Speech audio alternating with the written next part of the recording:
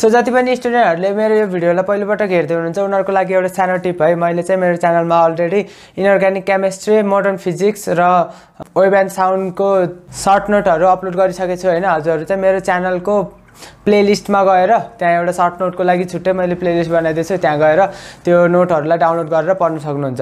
अनि तपाईँलाई जुन च्याप्टर गाह्रो लाग्छ नि त्यो च्याप्टरको बारेमा चाहिँ के सोच्नु भने होइन यो च्याप्टरमा त्यस्तो के कुरा छ होइन जुन चाहिँ मेरो क्लासको टपरलाई चाहिँ याद आउँछ सबै कुरा है। टपरलाई चाहिँ टपरको माइन्डमा चाहिँ सजिलै त्यो कुराहरू बस्छ तर मेरो माइन्डमा चाहिँ किन बस्दैन त नि? Hello everyone this is Ganesh Gautam and two thousand seventy seven पनि इन्ड भइसक्यो होइन अब आज लास्ट डे हो। राइट अनि यो टु थाउजन्ड सेभेन्टी सेभेनले हामीलाई कति नयाँ कुराहरू सिकायो होइन? एन्ड कति प्रब्लमहरू फेस गर्नु पऱ्यो लकडाउनको कारणले कोरोनाको कारणले होइन? हाम्रो अनलाइनमा पढाइ हुन्थ्यो होइन? अनलाइनमा पढ्दा कति इरिटेट लाग्थ्यो कति कुराहरू बुझिन्थेन होइन? यो सबै प्रब्लमहरू हामीले फेस गर्यो एन्ड सो भिडियो थोरै लामो भए पनि भिडियोमा क्लिक गरिहालेको भएपछि भिडियोलाई पुरा हेर्नु होला होइन? किनकि मैले यहाँ हजुरलाई चाहिने कुराहरू मात्रै दिन खोज्छु है। मैले कुनै पनि फाल्तु कुराहरू त्यस्तो टिपेर ल्याएर दिँदिनँ होइन? एन्ड जति पनि इन्टरनेटमा इन्फर्मेसनहरू छ नि यसको बारेमा त्यो साराका सारा कुरालाई मैले पढेर होइन? जुन चाहिने इम्पोर्टेन्ट कुराहरू छ त्यो कुराहरू मात्रै मैले आजको यस भिडियोमा दिन्छु होइन? सो काफी ज़्यादा इम्पोर्टेन्ट भिडियो हुनेवाला छ यो होइन?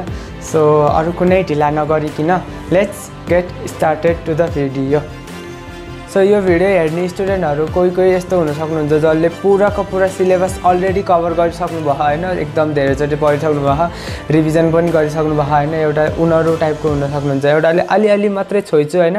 स्कुलमा अलिअलि पढेको थियो अलिअलि माइन्डमा याद छ अनि इन्टरनल इक्जामहरू दिँदाखेरि गरिरहेको थियो अलिअलि भन्ने एउटा टाइपको स्टुडेन्ट हुनुहुन्छ होइन? एन्ड अर्को एउटा हुनुहुन्छ जसले कति पनि पढ्नु भएन है अहिलेसम्म बुकमा इन्टरै गर्नु भएन त्यो स्टुडेन्टहरू नि हुनुहुन्छ होइन? सो तिनटै क्याटेगोरीलाई लिएर जाऊँ होइन। तिनटै क्याटेगोरीको स्टुडेन्टहरूले के के गरेर उनीहरूले राम्रो मार्क्स ल्याएर आउनु सक्छन्? फर्स्ट पोइन्टमा चाहिँ के भन्छु भने मैले हजुरको प्रिबोर्डको मार्क्ससँग चाहिँ हजुर नडराउनु कि मतलब कि?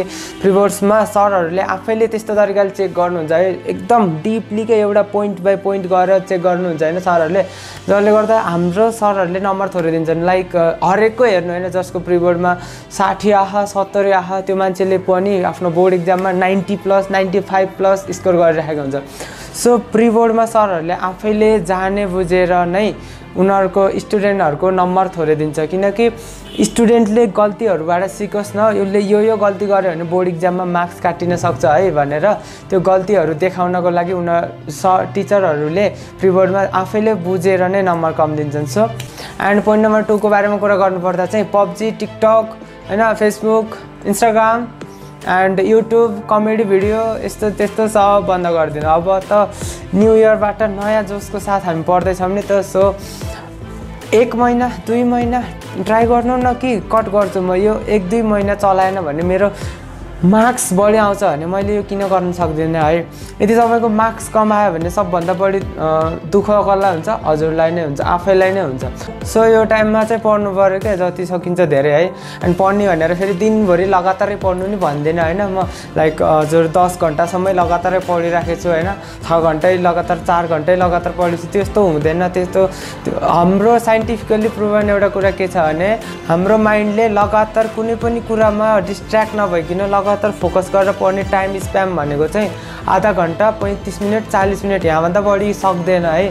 सो ट्राई गर्नु न आधा घन्टा पढेपछि बरु पाँच दस मिनटको ब्रेक लिनु अनि मा आफूले आफूलाई चार्ज गर्नु। राइट अनि त्यसपछि फेरि पढ्नु किन त्यसले हजुरको फोकस बिल्ड गर्छ क्या अझै बढी एक्टिभ भएर पढ्नु सक्नुहुन्छ। मैले के गर्थेँ भने म चाहिँ लगातार दुई घन्टासम्म पढ्ने होइन। अनि त्यसपछि आधा घन्टाको ब्रेक लिन्छु भन्थेँ है। अनि बिचमा पढ्ने बानी हराउँदै गयो होइन। लाइक इक्जाम सकेपछि अनि एक दुई हप्ता जति पढिँदैन नि त पढ्ने बानी हरायो। त्यसपछि म दुई घन्टासम्म लगातार बसेर पढ्न सकिनँ होइन। सो त्यसपछि मैले के गरेँ भने आधा घन्टा पढेँ होइन। आधा घन्टा पढेँ त्यसपछि पाँच मिनटको ब्रेक लिने गर्थेँ है अनि त्यसपछि चाहिँ फेरि एक्टिभ फिल हुन्थ्यो होइन त्यसपछि पढ्न चाहिँ मजा आउँथ्यो। सो त्यो टिकटक पब्जी यस्तो चिजहरू अब नचलाउनु एक एक महिनाको लागि होइन एक महिना त बाँकी छ नि। एसीको कहिलेबाट छ जेठको तेह्र गतेबाट छ होइन एन्ड तेह्र दुन छब्बिस छब्बिसबाट एनइबीको छ। सो एक महिनाको टाइम त छ नि एक महिनासम्म केही कुरा पनि कट गर्न सक्नुहुन्न र मतलब कि मम्मीलाई लगेर दिनु न फोन होइन यदि कट गर्न सक्नुहुन्न भने। मैले त्यही माथि डिस्ट्राक्सनको लागि त एउटा कम्प्लिट भिडियो छु त्यो भिडियो गरेर हेर्नु त्यहाँ पनि मैले कति टिपहरू दिएको छु होइन? होइन तपाईँ चलाउनु सक्नुहुन्छ मोबाइल नै चलाउनु गेम पनि खेल्नु होइन? टिकटक पनि चलाउनु सबै कुरा गर्नु तर त्यो टार्गेट नराख्नु कि म ए ए प्लस नै लिएर आउँछु होइन? अथवा मेरो नम्बर पनि राम्रो आउनु पऱ्यो र यो सबै पनि कुराहरू हुनु पऱ्यो। यस्तो त हुन सक्दैन नि त राइट? सो यति सानो कन्सेप्टलाई बुझ्नु के? सो यो दुइटा कुराहरू भयो यो आफूले बुझ्नुपर्ने कुराहरू होइन? एन्ड अब चाहिँ पढाइतिर रिलेटेड जाम है त पढाइतिर चाहिँ कसरी पढ्ने? तपाईँको आफ्नो सिलेबस छ?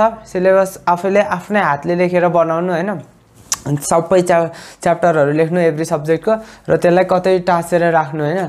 अनि के गर्नु भने सबभन्दा इजिएस्ट कुन छ र सबभन्दा हार्डेस्ट कुन छ? सबभन्दा हजुरलाई लाग्ने कि मतलब कि इक्जामको पोइन्ट अफ भ्यूले होइन कि हजुरलाई सबभन्दा इजी लाग्ने भन्नाले हजुरलाई सबभन्दा इन्ट्रेस्ट लाग्ने इन्ट्रेस्टिङ सब्जेक्ट इन्ट्रेस्टिङ च्याप्टर कुन छ? र सबभन्दा बोरिङ लाग्ने होइन पढ्नै मन नलाग्ने च्याप्टर कुन छ त्यो छुट्याएर त्यसै अनुसारले एउटा लिस्ट बनाउनु ओके? त्यसपछि तपाईँले यो एक महिनाको टाइममा चाहिँ सुरुमा हार्डेस्ट टपिकहरू पढ्नु। यो चाहिँ मैले किन सम्झाएको भने तपाईँको मानवलाई पाँचवटा सब्जेक्ट छ होइन? पाँचवटा सब्जेक्टमा तिनवटा चाहिँ तपाईँको फेभरेट सब्जेक्ट एकदम मनपर्ने होइन? एकदम पढ्न नि मन लाग्ने सब्जेक्ट छ। र दुइटा चाहिँ गाह्रो लाग्छ तपाईँलाई होइन? ओके सो पाँचवटा सब्जेक्टमा तिनवटामा चाहिँ तपाईँको इक्जाममा फुलमा फुल मार्क्स आयो। फुलमा फुल मार्क्स भनेको हन्ड्रेड तिनटैमा हन्ड्रेड हन्ड्रेड हन्ड्रेड आयो होइन। एन्ड बाँकी रह्यो दुइटा दुइटामा चाहिँ तपाईँको नराम्रो आयो मार्क्सहरू पचास पचास मात्रै आयो होइन। सो यो त्यो सबै मिलाएर नि बल्ल चार सय भयो। ए प्लस त आएन नि होइन। सो तपाईँको ग्रिप चाहिँ हार्डेस्ट भन्नाले हजुरलाई गाह्रो लाग्ने पढ्नै मन नलाग्ने सब्जेक्टमा पनि हुनुपर्छ क्या। हरेक सब्जेक्टलाई हरेक च्याप्टरलाई इग्नोर नगर्नु क्या होइन? मलाई यो आउँदैन म पढ्दिनँ भनेर त्यसरी इग्नोर चाहिँ नगर्नु हो अनि तपाईँलाई जुन च्याप्टर गाह्रो लाग्छ नि त्यो च्याप्टरको बारेमा चाहिँ के सोच्नु भने होइन यो च्याप्टरमा त्यस्तो के कुरा छ होइन जुन चाहिँ मेरो क्लासको टपरलाई चाहिँ याद आउँछ सबै कुरा है? टपरलाई चाहिँ टपरको माइन्डमा चाहिँ सजिलै त्यो कुराहरू बस्छ तर मेरो माइन्डमा चाहिँ किन बस्दैन त नि? यो कुरालाई हल्का आफूले एनालाइज गर्नु होइन अनि त्यसलाई आफ्नो च्यालेन्जको रूपमा लिनु है जसले हजुरलाई डेफिनेटली त्यो च्याप्टर पनि इजी गराउँछ। क्या यो पनि एउटा तरिका हो क्या पढ्ने है। ओके सो त्यसपछि हामी आउँछौँ पोइन्ट नम्बर चारमा होइन? धेरै बुकहरूमा चाहिँ नजानु धेरै बुकहरू किनेर ल्याएर सबैलाई पढ्छु भनेर त्यो नलग्नु है अब एक महिना मात्रै बाँकी छ होइन? सो सबै बुकहरू पढ्नु नि जरुरी छैन। कुनै कुनै एउटा बुकहरू हुन्छ होइन? लाइक प्रिभियस इयर क्वेसनको लागि तपाईँको कुन बुक हुन्छ? टेन सेट हुन्छ होइन? एससीको स्टुडेन्टको कुरा गर्नुपर्दा चाहिँ एन्ड एनइबीको लागि ओल्ड इज गोल्ड हुन्छ होइन? प्रिभियस इयर क्वेसनहरू त्यहाँबाट थाहा हुन्छ एन्ड बुकहरूको लागि चाहिँ अलिअलि गाइडहरू पाइन्छ होइन। एनइबीको लागि चाहिँ सोल्युसनहरू पाइन्छ है। सो तपाईँ जिरो लेभलमा हुनुहुन्छ भने पनि तपाईँले राम्रो स्कोर गर्न सक्नुहुन्छ है।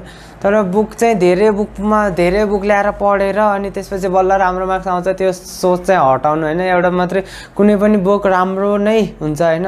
तर आफूले राम्रो बुक चाहिँ पिक गरेर पढ्नु पऱ्यो। सो अब लास्ट पोइन्ट है। लास्ट पोइन्टमा चाहिँ के भन्छु भने मैले पहिल्यैको भिडियोहरूमा नि भनिराखेको छु है कि एक दिनमा एउटा च्याप्टर पढ्ने खालको स्ट्राटेजी चाहिँ हुनुहुन्न होइन?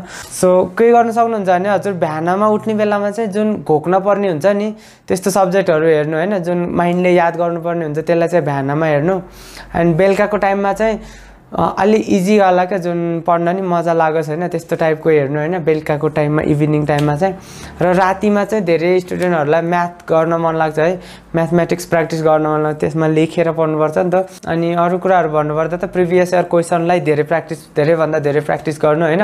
अनि त्यसपछि हरेक च्याप्टरलाई इक्वली इम्पोर्टेन्स दिनु है किनकि हरेक च्याप्टरबाट क्वेसन आउनु सक्छ होइन। सो अनि त्यसपछि इजी च्याप्टर र एकदम धेरै क्वेसन सोध्ने। हुनाले जुनमा हरेक इयर क्वेसन सोधेको त्यो च्याप्टरलाई चाहिँ नछुटाउनु होइन? आजको भिडियोको लागि यति नै। नयाँ इयर आउँदैछ भोलिबाट होइन भोलिबाट। अबको एक महिनाको ग्यापमा तपाईँले आफूले आफूलाई कतिसम्म तडपाउन सक्नुहुन्छ त्यति तपाईँको रिजल्ट राम्रो आउँछ। राइट कि त तपाईँ अरू जसरी नै त्यही वेमा जानु जुन वेमा अरू हिँडेछ होइन टिकटक पब्जी त्यसमा रमाइलो छ त्यो बाटोमा तर मार्क्स राम्रो आउँदैन। राइट त्यसले हाम्रो फ्युचर ड्यामेज गर्छ। कि त तपाईँ अहिलेको यो एक महिनालाई एकदम गाह्रो बाटोमा हाल्नु होइन? लाइक काँडै काँडा भएको बाटोहरूमा हाल्नु। र पछिको तपाईँको फ्युचर एकदम राम्रो हुन्छ। ओके सो यो थियो मेरो भिडियो आज होइन? अलिअलि टिप्सहरू र मिस्टेक्सहरू के के नगर्ने भन्ने बारेमा होइन? फेरि पनि यस्तै भिडियोहरू म मेरो यस च्यानलमा अपलोड गर्छु है। च्यानलमा यदि नयाँ हुनुहुन्छ भने चाहिँ च्यानललाई सब्सक्राइब गर्न सक्नुहुन्छ। सो या फेरि अर्को कुनै भिडियोमा भेटौँला। त्यति बेलासम्मलाई see ya have a good day bye and take care